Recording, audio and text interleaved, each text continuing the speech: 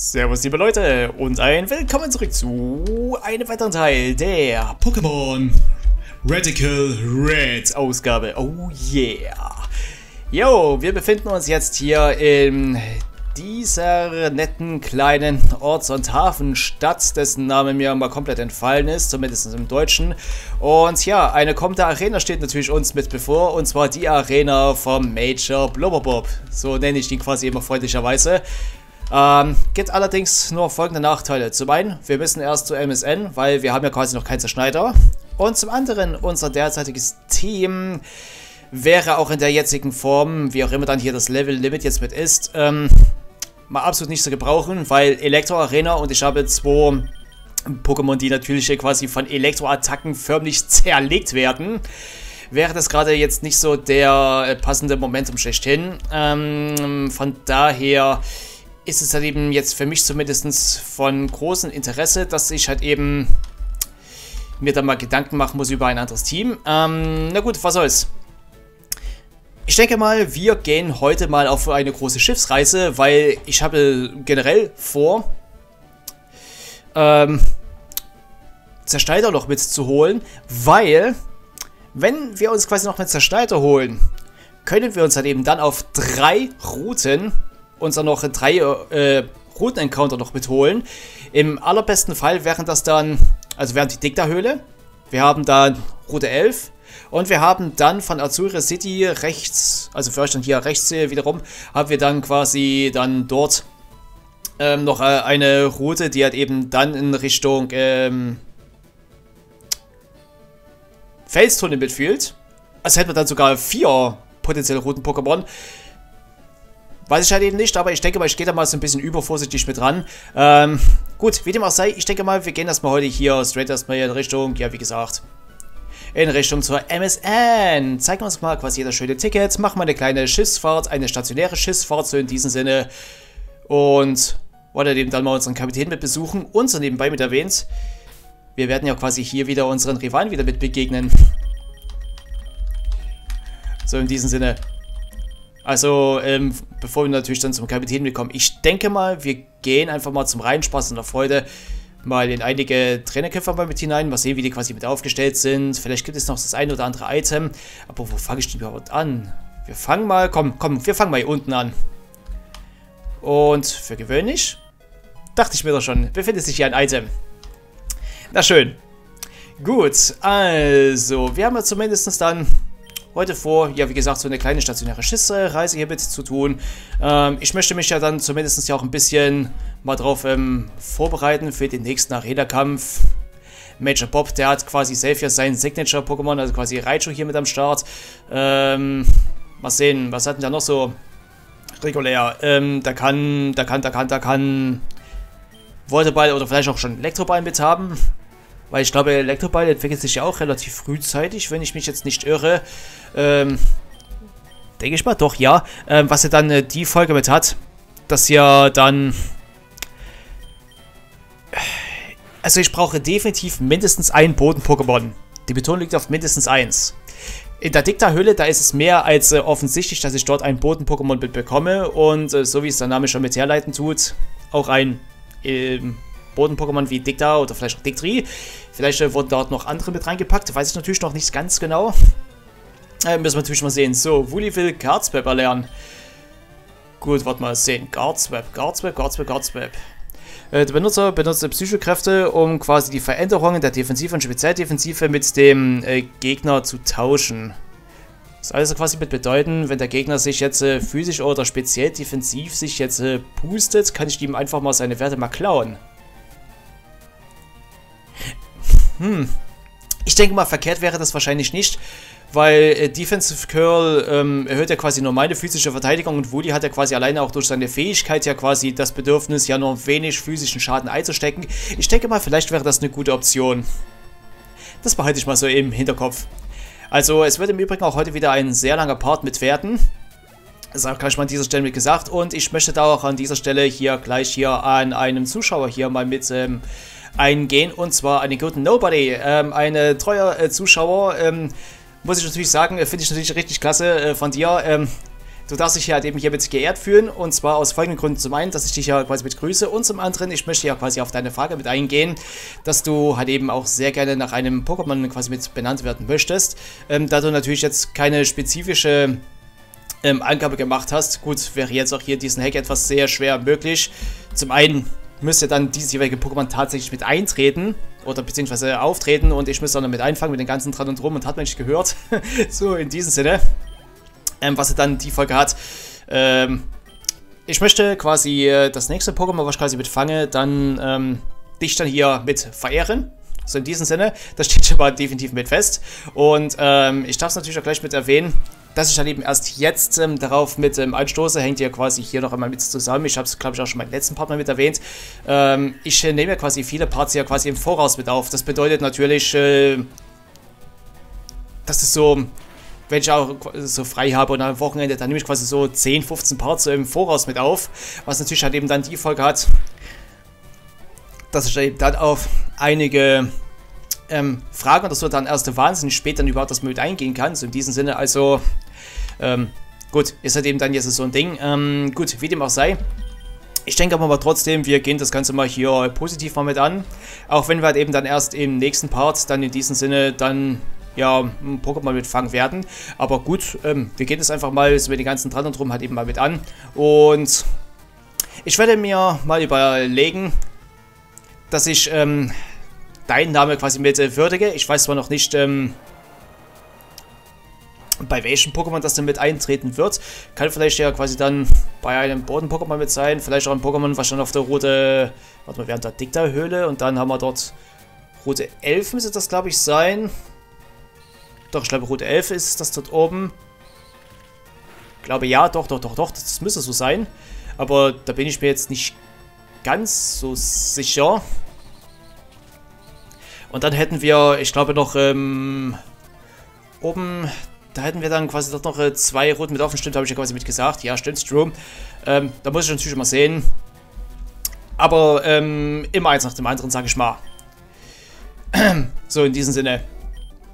Und das bedeutet natürlich dann so im Endeffekt, es wird halt eben dann erst ein bisschen später in diesem Fall ja mit werden, aber kommt was soll's. Das, das machen wir natürlich mit hin. So, ähm, hätte ich dich schon mal mit ähm, abgefrühstückt. Äh, das äh, heißt, ich gebe quasi auch hier nochmal so die ganze Kundgebung schon mal mit äh, raus.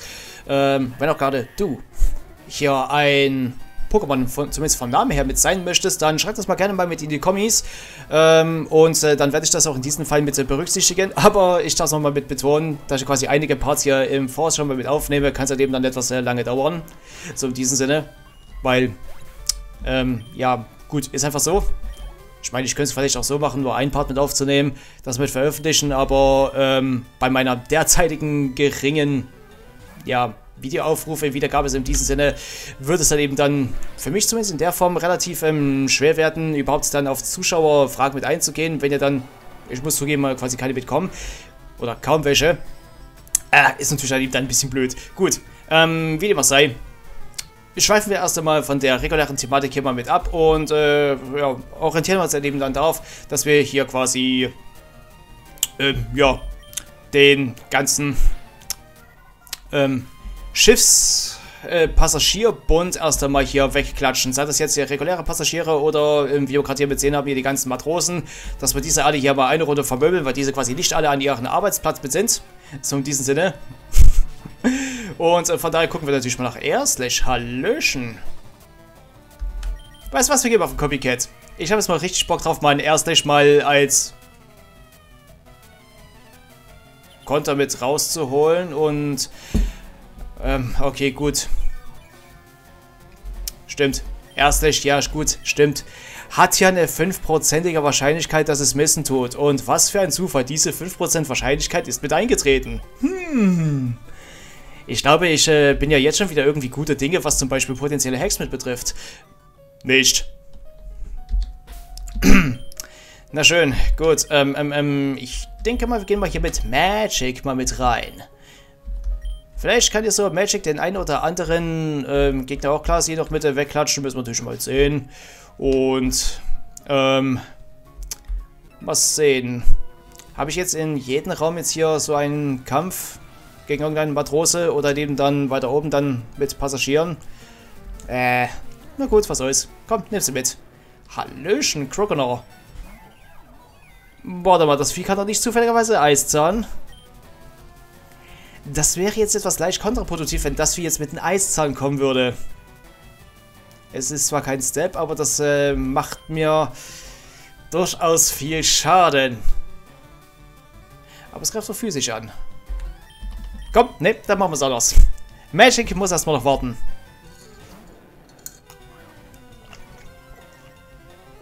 So, in diesem Sinne. Das muss erstmal kommen und ja, dachte ich mir schon, Eiszahn.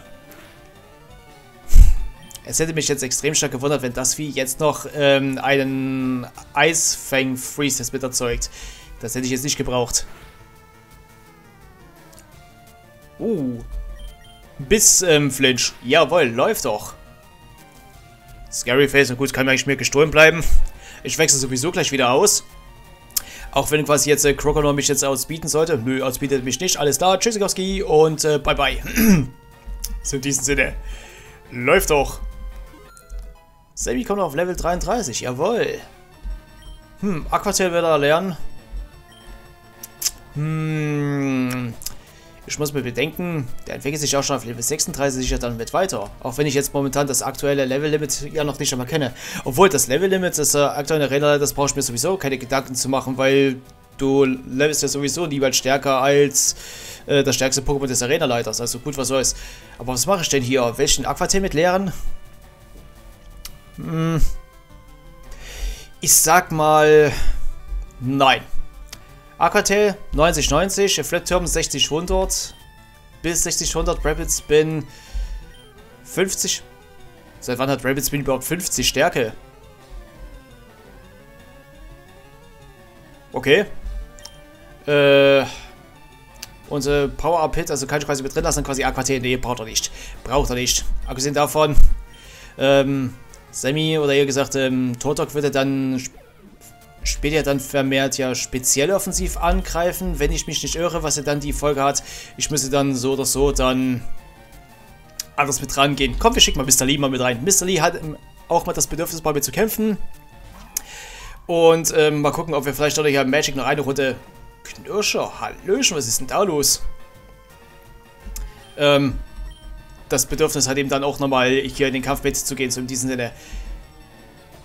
Ein Bidi-Za, ne, Bidi-Fass mit Knirscher, Hallöchen, aber weitaus mehr ähm, leistungsfähiger, muss ich sagen, als in der vierten Spielgeneration per Standard, weil da hat quasi ein äh, Bidi-Fass, wenn es sich weiterentwickelt, von den Wassertyp, den es dann mit hinzubekommt, nur einen einzigen Step-Move. Und dieser nennt sich Aquaknarre, was es auf Level 15 erlernt weil sich das Vieh auf, auf Level 15 sich dann schon weiterentwickelt. Also er lernt dann sonst keine andere außer per VM existierende Wasserattacke. Und ich meine, so ein Vieh, das kann ja auch quasi richtig böse werden, wenn du es... Oh, hallo, Gigasauger. Hey, das nimmst du doch halt eben gerne mit. Ähm, wenn du zum Beispiel, Beispiel, ähm, auf... Wie wir gerade mit gesehen haben, mit Knirscher oder mit, ähm, mit Kaskade und Schwertanz und all so ein Spaß mitkommst. Oh, kann das Vieh Schwertanz? Kann sein, weiß ich nicht. Gut, mal sehen. Gigasauger, das nehme ich auf jeden Fall mit, weil das kannst du immer gut mit gebrauchen. Komm, ich denke mal, wir hauen mal hier Moonlight raus. Das brauchen wir nicht.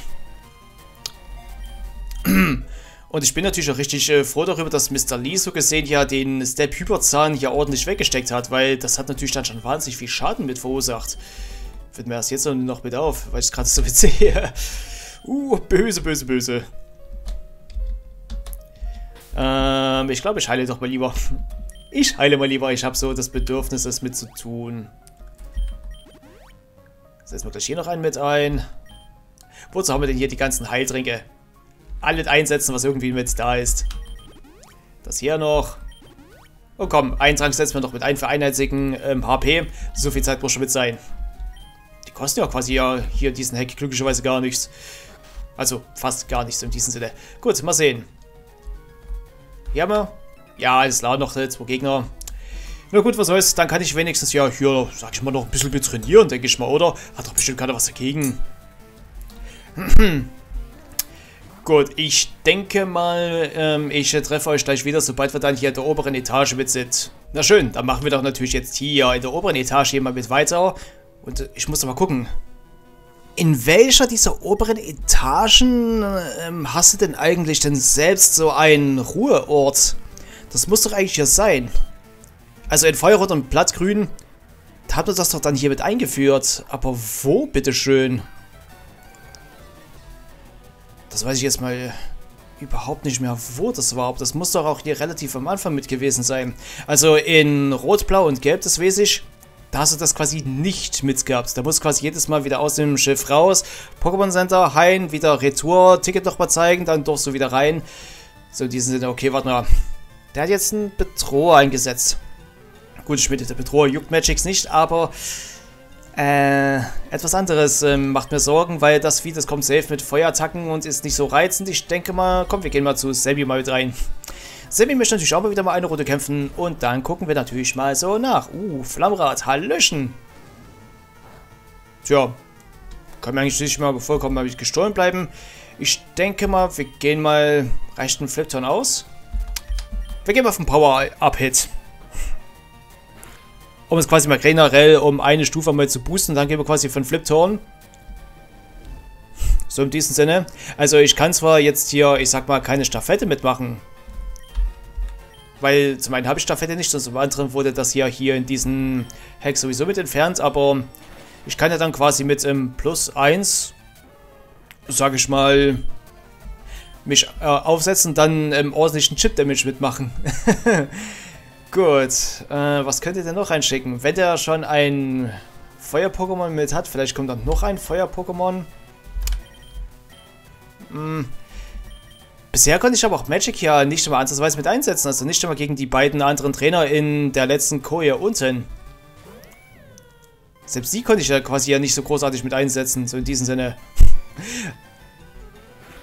Also das ist schon ein bisschen sehr eigenartig. Na gut, was soll's, wir finden bestimmt noch irgendwann mal das Momentum, wo quasi Magic ist, sich mal mit behaupten kann. Hier scheint es wohl noch nicht so mit der Fall zu sein. Gut, müssen wir natürlich mal sehen, wie es halt mit wird. Headbutt. Gut, juckt mich nicht. Hier, U-Turn, tschüss. Hat er quasi jetzt noch ein Pokémon oder war es jetzt? Ne, war schon alles da.